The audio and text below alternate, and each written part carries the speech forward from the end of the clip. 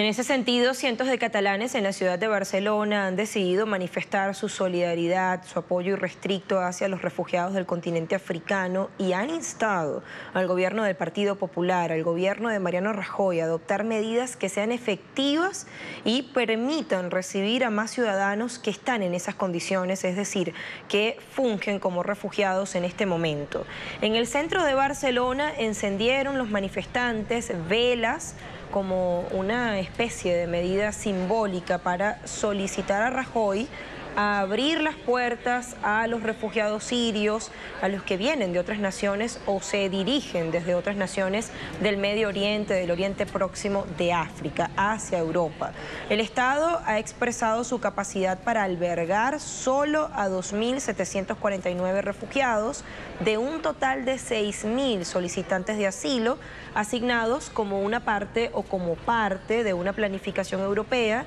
para hacer frente a esta crisis o drama humanitario,